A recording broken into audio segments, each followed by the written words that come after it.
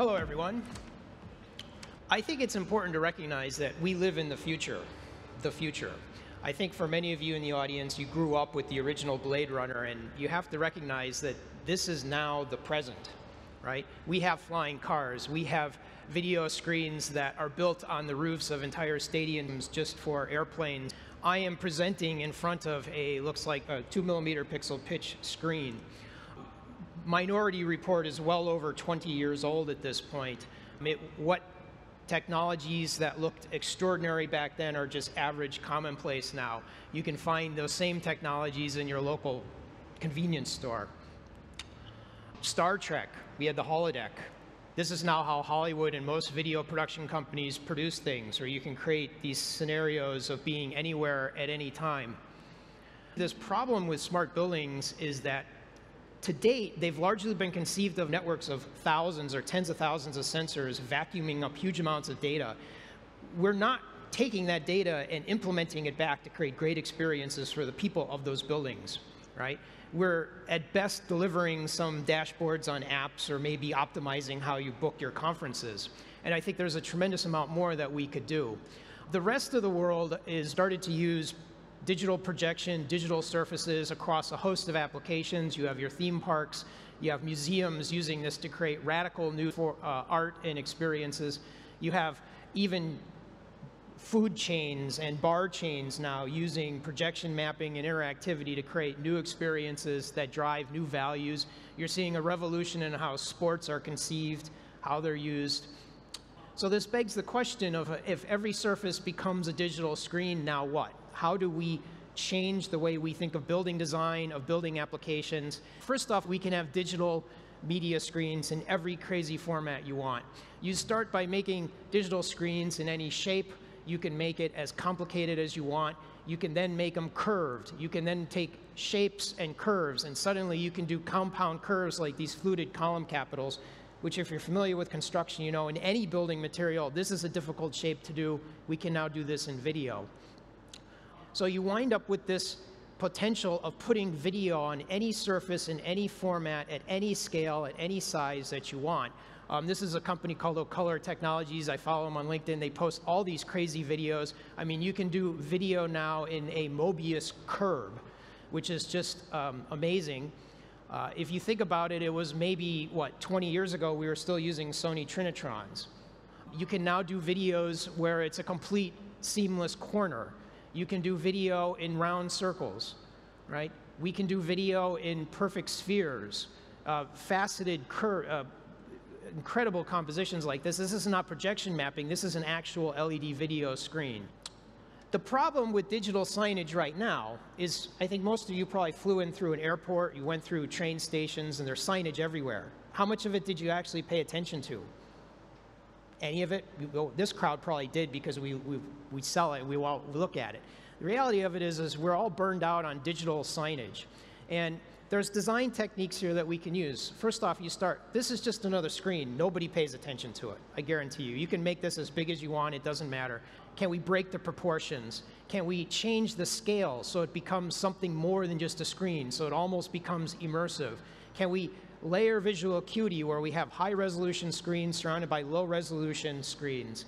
Can we then start to turn that more into integrated spatial experiences where we have different media at different scales? Perhaps we have high resolution in the middle, we have low resolution screens around the side, and we just have sort of digital lighting around the perimeter. But then there's this leap into the crazy world. Um, if Frank Gehry had video as a building material, what would he do with it? sadly, this is actually an image I made in 1999 for my graduate thesis uh, for my master's in architecture. So the concepts have been around for a long time, it just hasn't been used very well. The next thing that we should talk about is this obsession with VR and the metaverse. VR has been around since the early 90s. I mean, there's obvious problems with it. It's antisocial, it's awkward to use, the technology is not very good. And I'd like to challenge you to think that based on my sort of back of the envelope calculation, if I'm standing from a screen like this, about roughly a meter away, roughly arm's length away, if it goes sub 0.5 millimeter pixel pitch, you lose perception of pixels, which means you sort of have the Apple Retina-like sensation where you have just a perfect screen. So that means if I'm standing in front of a screen like this, I cannot see the edges. If this is 0.5 millimeters or not, it becomes a virtual reality experience in real life. So if you have something like this, where it's just a simple room, um, this is a Fusion CIS Studios. They just did this piece of showing a simple sunrise. You cannot perceive if this is reality or a screen at some point. These LED screens have daylight brightness already. The resolution is so high, the content is so pure that this is a new form of virtual reality. Maybe we call it architectural reality. I don't know what the term should be for it. Another thing we can talk about is this growing trend for anamorphic graphics. It's an old, timeless painting technique, trompe l'oeil, forced perspective. You can see this all over. But in digital media, you're starting to see these crazy applications where um, large screen signage now looks 3D. This is not 3D. If you see very closely, this is a large curving corner, right? So you can do forced perspective on 2D flat screens. The moment you add a second corner or second axis, um, you can really get stunning effects. Now, what really works here is when you're in a tight urban environment and you only have sort of one view corridor, this doesn't work from any other angles. But at the scale of a building, you will very quickly see rooms that are all surfaces of digital media right? And if you noticed what happened when he walked in here, you immediately lost where you were. You were immersed in a virtual environment nearly completely. If you notice this one more time. And it's, um, I think in our industry, we forget that this is very powerful. I love this cute little video of these kids. Listen to them as they crest this roller coaster. Um, this is a glass floor. The video goes underneath them, around them. virtual reality at the scale of architecture, right? And this is not even very good graphics. This looks like graphics from about 20 years ago. Transparency and layered realities. Again, I use an image I made from my thesis in 1999. I can't believe I'm showing you student work I did that's two decades old, but here I am. If you know lighting, you know lighting is additive, right? And this is a trick that the old timers have used in special effects. So theatrical scrims, where you fade from one thing to another, or uh, Disney has used this with the Pepper's Ghost effect. When you start to have digital content as a surface that can be on anything and can be any transparency level, you have to start layering reality and virtual reality, and you can start to use your body as a control system for that. You think about James Turrell and the famous light effects where he does apertures and what's beyond or what's in front of it. This might be easier to understand you already have screens that at various scales look transparent. So at the architectural scale, you have these LED screens. Um, at the finer scale, you have transparent OLED, right? And when you start to combine that, you can have, let's say, solid surfaces, you can have transparent surfaces. If they really wanted to here, they could add in some props or reality, or they could add multiple screens that are transparent to create a tremendous illusion of depth and parallax effect. This is the Petit Chef, and this is a uh, restaurant experience that's now, I think this is on a cruise ship. What this is is forced perspective overlaid onto a dining room table. And the only trick here really is that the plate has to be in the right spot. Everything else works. And it's just a charming overlay of data and media um, in storytelling on your dining experience. And then you start to turn this into um, these very lush dining experiences where you combine projection mapping on the table surrounded by these walls of high resolution digital media, you get a total new type of immersion where you have your physical stuff, your food, and you have your virtual experience surrounding you. And obviously, this has a lot of hospitality and entertainment applications, but how do we start to use this technology in, let's say, healthcare or retail or commercial office spaces? Another concept I like to talk about, ambient communications. We as humans have very focused vision that we look at for acute detail. This vision costs our brain a lot. It takes a lot of processing power. But we have a secondary visual system that's our peripheral vision. This is a very fast, lightweight, low uh, mental energy sort of visual system, and it is very powerful. Um, I think earlier today in the session, you saw all the lights went white for some reason, and everybody looked what went on. What went on? Why was that? That was our peripheral vision system working. We weren't focused on the lighting. Well, I was, I'm a lighting nerd, but the rest of us weren't, and you saw that. So we have this peripheral vision, we have this human proclivity for motion, right? Maybe it's because we wanted to make sure we saw the lion in the bushes uh, eons ago before it ate us, and we have this human proclivity for meaning making of variables in our environment change, we want to know why.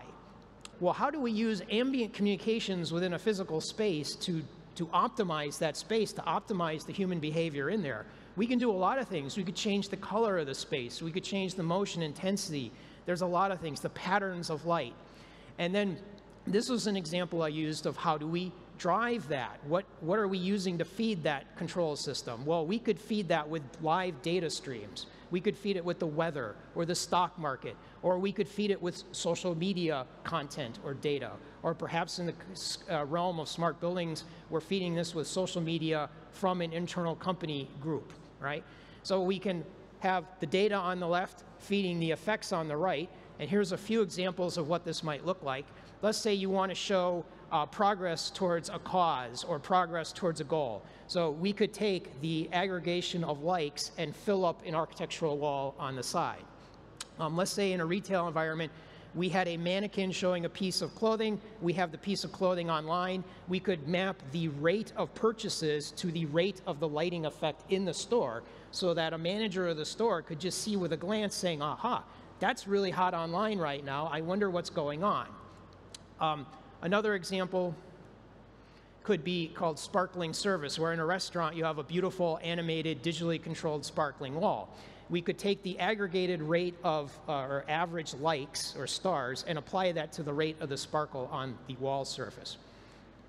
So, and you see how this maps through. Let's talk about interactivity now.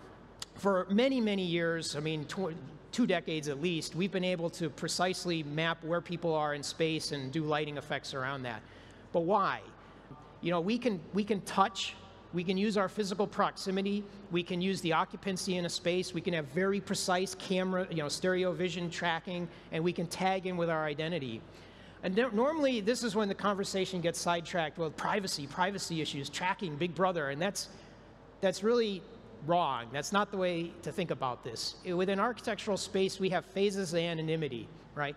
All the way on the left, we have no systems at all. You walk through a space, you're totally untracked, you're a ghost. We have systems, though, that can track you. Let's say um, the faucet that recognizes your presence and turns on. Nobody cares, nobody's screaming privacy about that, but you are being tracked in a certain form. And then you have an interface, but you're not recognized. Then you have the moment where you check in, and there's lots of applications where your privacy, you have to check in. You go to an airport, you go to a hotel, you go to healthcare. Those are all check-in applications. You go to retail and you want service, and you will see levels of basic data. You'll see levels of tailored service all the way up to the extreme where you have this sort of genie-like magic because the system has learned so much about you and your actions that it can create things nobody was even expecting. Um, any kid can download TensorFlow, which is open source software, and put it on a $20 Raspberry Pi and do vision tracking systems nowadays. Pro systems like Advertima here can actually sort out, can guess what your sex and age is. They can track you, they can track your linger time. And then once you combine check-in with a CRM system, you can do camera recognition system. They can recognize who you are before you even have to say who you are or tag in. So why? Well, we can deliver function, we can deliver delight, we can deliver content. These are all valuable things. And I think you see most smart building systems are not even thinking about this. They're delivering very narrow financial ROI objectives and they're not looking at the broader experiences. This is a, a healthcare facility, I think somewhere in the United Kingdom by Jason Bruges' studio. So these are very sick kids going for MRI or CAT scans. They get very nervous. Hospitals are a very imposing environment. So they put this LED screens behind the wallpaper, little magical animals show up. It calms the kids, it distracts them. They got much better scans. So there was a very clear ROI in the big dollar world of healthcare just by distracting children. Again, these are very timeless principles. This is another piece from my thesis. You can map within an architectural space active surfaces, active zones, active objects against our eyes, our bodies, and our hands. And this becomes sort of a new toolkit about how we can experience space. You can also map surfaces, objects, and zones against the color, luminosity, texture, dynamics.